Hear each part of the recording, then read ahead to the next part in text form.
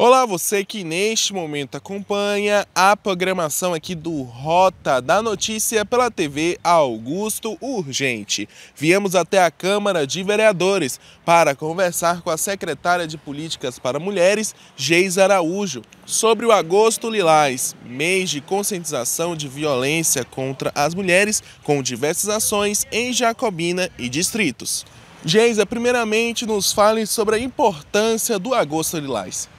O Agosto Lilás é o mês de enfrentamento contra a violência à mulher. Esse ano fazemos 18 anos nessa luta. Então, é importante falarmos, divulgarmos e estar conscientes de que existe uma rede, existem pessoas, braços, amigas e amigos que combatem junto conosco todos os tipos de violência contra a mulher. Como estará funcionando a dinâmica durante o mês de agosto e quais encontros estarão sendo realizados aqui em nosso município?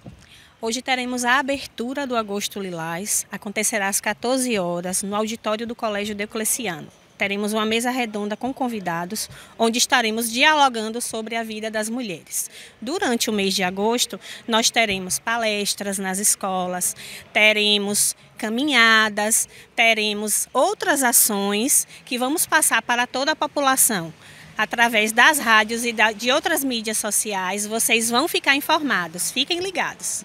Aproveitando a oportunidade, nos fale sobre a rede de enfrentamento que conta com a participação dos órgãos de segurança pública aqui de Jacobina.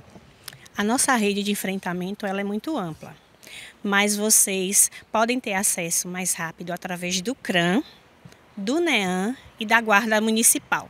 Mas para aquelas pessoas que não desejam ir diretamente, podem também fazer a denúncia pelo 180. Para finalizar, qual a mensagem que você deixa para o pessoal de Jacobina e onde fica localizada a Secretaria de Políticas para Mulheres?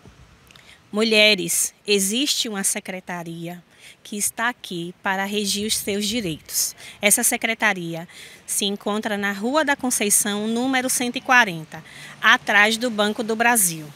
Sintam-se acolhidas, abraçadas e fortificadas, porque o nosso amor próprio precisa vir antes de tudo. Vocês não merecem serem vítimas de violências e nós estamos aqui para fortalecer vocês. Com as imagens de Augusto Silva, Felipe Marques para a TV Augusto Urgente.